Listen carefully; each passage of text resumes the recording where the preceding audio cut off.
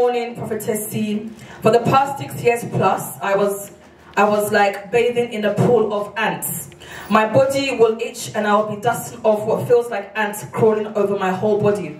I've been to doctors, specialists, spent thousands and thousands, but none could help. I even had to do biopsy. Hallelujah. Cut some of my body parts to check what was going on. Still no solution. On our first Friday healing prayers, you prayed for healing over a bottle of oil for me and directed me to, be, to take that morning and night. I started using the oil as directed. After three days, I stopped itching. Hallelujah.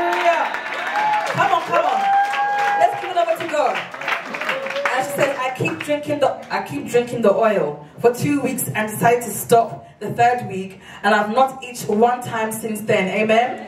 She says, Glory to God.